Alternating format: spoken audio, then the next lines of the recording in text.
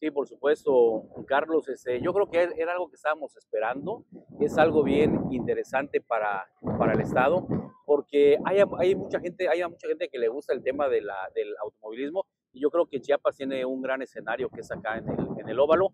Era algo esperado y yo creo que hoy pues la, la parrilla con ocho carros se vio bien y esperamos que en el, en el transcurso de, de, que se genere el campeonato se sumen más carros y algo, algo bien importante que, que es federado y eso pues va, va, va, marca una pauta de profesionalismo muy importante para la comunidad de Chiapas. ¿Tú cómo sentiste, cómo te sentiste ahora en,